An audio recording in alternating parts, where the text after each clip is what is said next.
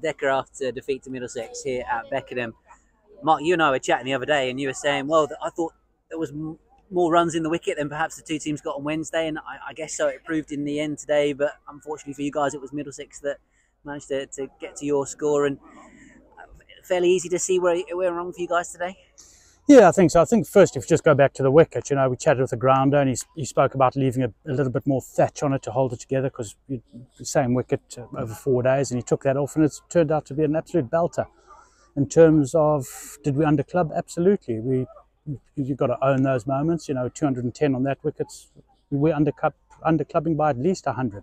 The guys recognise that, and um, easy to it's human nature to want to make those excuses, but we can't. We've got to have a good look at it and say, okay, why did we underclub? How do we find those extra runs? You know, is it execution? Is it management of the game? Whatever it is. But I honestly think that the blokes are honest enough and um, sort of professional enough to address it. And, you know, where it needs to be owned, we'll own it.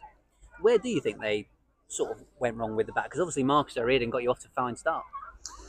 Yeah, so what we 70, 70 odd for one off the power play, and then between overs 10 and 15, we lose those, or 10 and 20, we lose four wickets. Um, did they, and we lost them to spin. I think we had three guys losing wickets to spin. Could we have been a little more game smart there? Uh, if, you know, I, I, I, know there's this um, theory about, you know, do it your way, but I also think you've got to judge the wicket. Do you need to be sweep, sweeping on Beckenham early? Can you own downtown? Um, I think Cracknell showed it beautifully. But uh, uh, Parky, he just kept taking him along, earned the right to go square on that wicket. Um, and yeah, we'll have those honest conversations, and you know, at least have a debate about it. Uh, that, you know, I think that's that's the key. If you can have a debate, and eventually start finding the answers that we're looking for. And I guess with the ball, because Cracknell had such a good start, it was hard to create that pressure you needed. And in the end, you got those two quick wickets, but that was too yeah. little, too late, I guess. Ben, honestly, I, I think our, our bowlers have been absolutely brilliant. They've stepped up to the plate um, every time we've we've played. We've played four games now, and they have not let us down in any phase.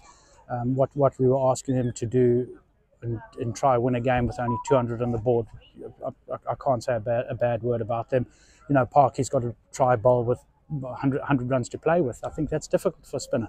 I think our bowlers have been absolutely magnificent. I've, I've, I cannot fault them and I won't fault them. We've got to put more runs on the board. Simple as that. Yeah. So uh, four games in, two wins, two defeats. How do you kind of assess it as a whole, the campaign? Uh, yeah, I, I, you know, you have this idea. Look, I'd like to win my five, win our five games early, and then everything's in the bag. But sport's not like that. You know, every other team's trying to win. They've got their agendas. You know, and um, Middlesex upset us on our agenda today, which is absolutely fine. Um, let's go for another four games. Um, you can't go um, doubting the way you want to play the game, but you can you can always try and evolve it and say, what do we do to get a little bit better at? You know, um, I, I, think we've spoken a lot about processes, so we've taken this idea of um, we win the game. It's, for us, it's all about what are we doing well to allow us to play good cricket, and therefore the win comes from that. So we sort of try to stay in the moment.